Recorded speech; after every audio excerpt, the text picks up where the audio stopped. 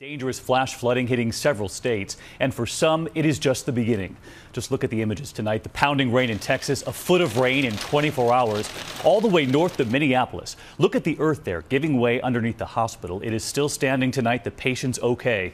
And look at this tonight entire homes in the heartland surrounded by water, neighborhoods unpassable unless you have a boat. Tonight, millions in the path of more severe weather. Meteorologist Ginger Zee is standing by. But first, ABC's Neil Karlinsky at the scene of that landslide that sent emergency teams scrambling. An emergency at the University of Minnesota Medical Center, a 100 yard chunk of hill that suddenly cut loose, leaving the building on a razor's edge. Paul Stegner saw it happen. No warning. All of a sudden, just I saw a tree moving and the whole hill came down.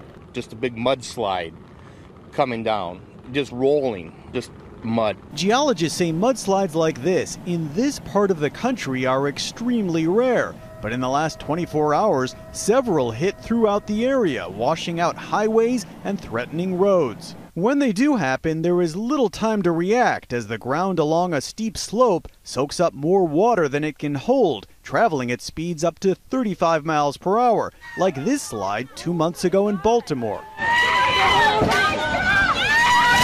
And Minnesota is beyond soaked. Here's water along this river yesterday. Trails flooded over. And today, up four feet overnight. In fact, Thursday broke the record as the rainiest June day ever here, more than four inches. And that's on top of a month that's seen nearly five times the average monthly rainfall. The governor declaring a state of emergency in 35 counties. We're going to see a, a very, very uh, tragic situation today, a lot of hardship. Parts of Iowa and South Dakota were drenched by the same system and are only now beginning to dry out.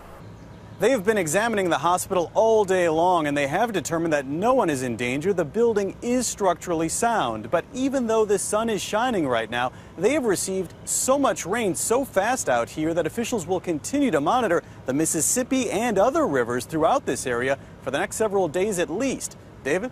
All right, a precarious situation. Neil, thank you. Let's bring in meteorologist Ginger Zee tonight. And just the amount of rain, staggering. Yeah, you hear all these numbers, David, and you say, I can't put it into perspective. So we wanted to show you on a graphic just how much rain we're talking. This would be for the Twin Cities. An average for June to this date would be just over two and a half inches. But this month alone to date, over 10 and a half inches. We're talking eight inches plus, a lot of that coming in the last seven days. And Ginger, you were telling me more rain on the way. What do we expect tonight? Yes, and this is where it's falling already and where it will fall for the next 48 to 72 hours. We're talking through Sunday. There is a bullseye in southwestern Iowa, parts of eastern Nebraska, and another, if you'll look, in North Carolina, David. And this alone comes with some severe weather, too. Pockets of it tonight. You could see hail, already are seeing damaging winds, also isolated tornadoes possible, and there is a more gelled together area for severe storms. This would be for your Saturday. Anybody with a barbecue from Rapid City to Des Moines, look out. All right, we're all on the watch tonight. In the meantime, congrats on your wedding. Thank you. Great to have you back.